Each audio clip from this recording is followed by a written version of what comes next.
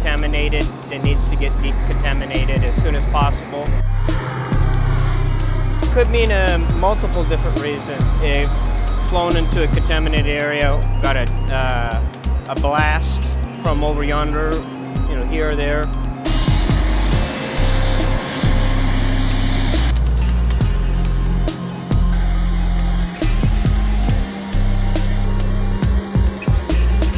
Today we're just doing uh, launches and recoveries in MOPP 4. We're trying to apply the AMC counter chemical ConOps to demonstrate that our maintainers know how to launch and recover the aircraft and do a simple uh, spot decontamination of uh, the aircraft as they're simulated coming back in from a contaminated environment.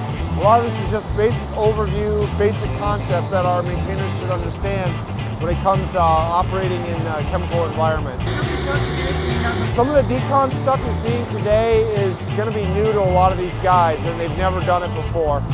So this will be some of these, a bunch of these guys, it'll be their first exposure to this. He did it right and then you kind of went up there. I was like, what are you doing? And then, then I see you like simulate like you did at the top. I, I felt like I did pretty good. You know, the chief said I did pretty good and you know, I'm going to go with what he says. He's a lot higher ranking than me. He knows a lot more, you know. But uh, yes, I feel like I did moder modestly well. Aircraft Maintenance Squadron and the supporting folks from the 7th Bomb Wing, they're doing a really good job out here considering the limited training they've gotten to this point. Like I said, they're, they're going from zero to 10 miles an hour. And, you know, by the end of this exercise, the guys out here will probably be sitting at about maybe, you know, they're at about 60 miles an hour. Hopefully we'll get them up to 100 at some point.